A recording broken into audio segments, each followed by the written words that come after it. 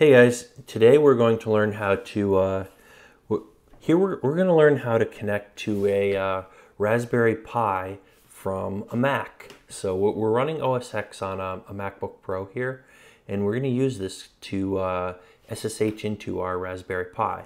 So first we need to we need to be able to find the IP address of our Raspberry Pi on the network, and then we're going to SSH into it um, using the terminal.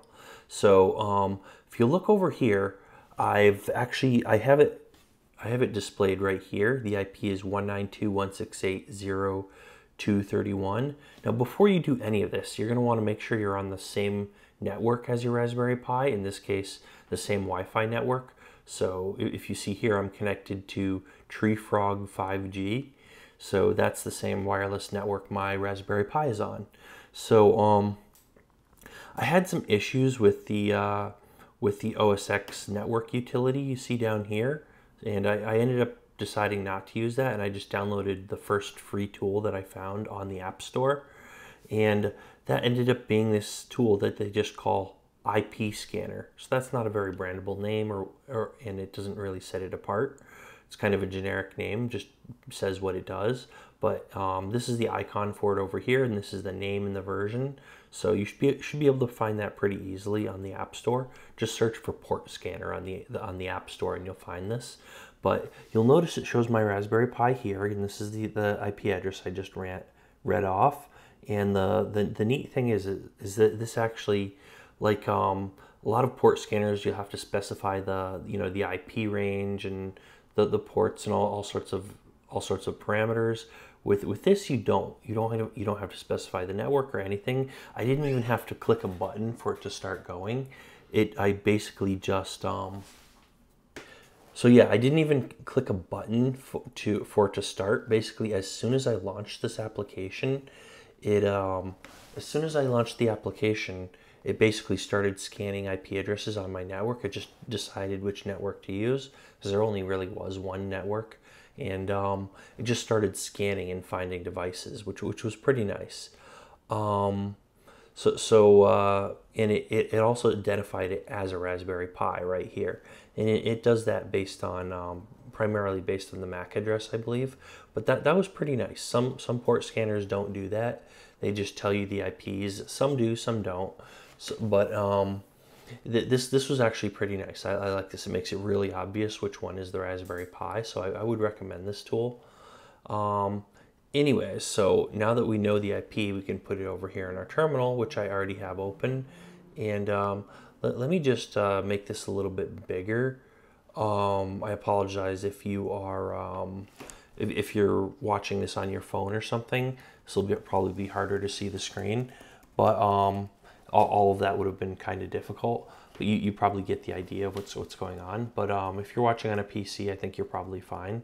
Um, anyways, so SSH into it, we basically say SSH.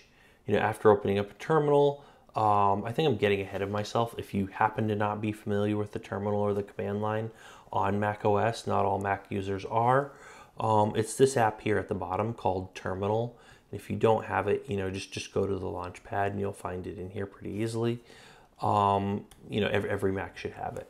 So any, anyways, open up your terminal and it, it'll be a different color for you by default unless you've configured it. But um, for, for me, I've, I've got this green on black, but um, it's, it's the same app. But, but anyways, um, once you're in your terminal, you type SSH to use secure shell, and then you type the IP address you're trying to SSH into. In this case, it's the IP address of our Raspberry Pi. So hit enter, and now it's it comes up with this little warning saying, hey, we don't recognize the fingerprint for this host. And the reason it does that is because this is the first time we're connecting to the host. Now, the second time we connect to it, it'll recognize. So we're, here, we're gonna say yes.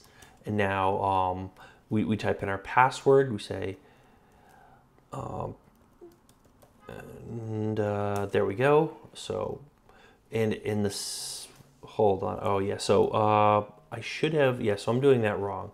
Um, in, anyways, the second time you log in, um, it's not going to show that. It, I failed this time, but the second successful time, I'll, I'll, show you. So the first thing I did wrong was I have to specify the user that I'm logging in as. So you say pi at. So whatever your username is, you say username at IP address or host name. So username at IP address or username at IP, yeah, IP or the host, yeah, what basically after the at sign, you'll either have a host name or an IP address. And the username comes before the at sign. so this is what the syntax looks like for that. So just hit enter and uh, type in the password. And I think I type I, I did type that in wrong. I'm, I'm not paying attention to what I'm doing.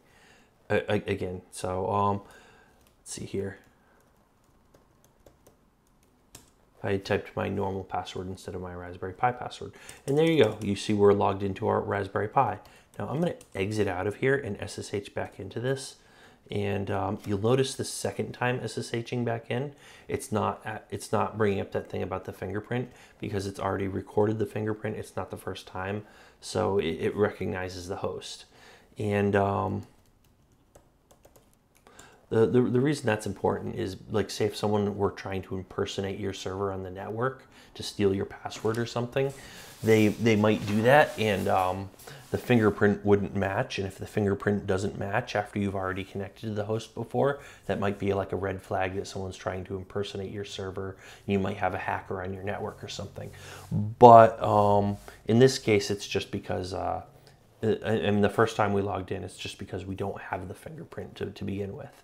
And other other things that can come up might be like you cleared out, um, you know, your your your known hosts file on on on uh, your system or, or something like that. But there are other reasons that can come up. But anyways, when it says that, just say yes. And um, so here I am SSH into my Raspberry Pi from my from my Mac, and um, so we can say like. Uh, uname dash A, and we can confirm, yeah, this is Linux running on our Raspberry Pi. Um, you know, this is the processor and architecture and all that. Um, uptime, you see it's been up for three days. It's just sitting there plugged in, connected to my Wi-Fi. No keyboard and monitor. I'm just connecting to it remotely from like all my different devices. Um, and um, let's see, what else should we look at? Cat, proc, CPU info. Yeah, this shows our information about our CPUs. We got four, four cores on here running an ARM, ARM version 7 processor. The actual name of the processor. Let's see if it, um, I believe this is the system on a chip and it's not actually telling us the actual name of our processor. Um, anyways, it doesn't matter for now. Yeah, it, it, this just shows our processor information. Um, you, you, I'm, just, I'm basically just poking around in the on, on, the CLI for now. But yeah, so that, that's pretty much it. We're logged into our Pi. Um, say if you wanted to like edit code or something, um, say edit our, this is, um, you know, the code that, the Python code that makes our LED blink. So um, you can do all this from the command line with your, uh, you, know, logged in remotely over SSH on the command line. So you can, you know, write code to make your LED blink or control your Raspberry Pi or do whatever you want. You can also get a remote desktop on your Raspberry Pi using VNC, but we're not going to cover that in this video. Um, in any case, one thing I should mention is to, you know, before you attempt to SSH into your Raspberry Pi, you're going to want to make sure you have it set up on the network and you're going to want to make sure you, you have enabled SSH on your Raspberry Pi. Now, um, I'm, I'm, making this video as a standalone video by itself, but I'm also going to include this video as part of a much larger video on how to set up your Pi. And um, the much larger video is going to, um, it's uh, in, in, that video, I'm going to show you how to actually, you know, configure your Pi on the network and uh, uh, enable SSH on your Raspberry Pi. But um, so if you're looking at, if you're watching this clip on the, the standalone video just for how to do this on a Mac, then you won't see that part. But if you're, you're watching this video as part of the larger video, then you, you will have probably already watched how to how to enable SSH on your Pi. So depending on which one you're on, you might want to go back and check the other video. So if you're on the, the Mac only video, you might want to check the video for all the platforms because at the beginning of that, I, I show you how to actually enable SSH on your Pi. Unless you know, already know how to do that and in, in which case you're covered. But um, yeah, so that's pretty, pretty much it. That's, that's everything we wanted to cover today. Um, you know, if, if you if you like this video, found it useful, give me a thumbs up. Um, you have any questions, comments, criticisms, anything you want to say, leave a comment down below. And, um, you know, I, I want to know what you think. I want to, you know, tell me how you feel. Um, you, you, know, hit the, if you like this content, you want to see more things like this, um, hit the subscribe button. Um, also hit the little bell icon so you see, you'll get a little alert when I put out a new video. And um, other than that, um, uh, hopefully you enjoyed this video. And um, as always, thanks for watching and we'll, we'll see you next time.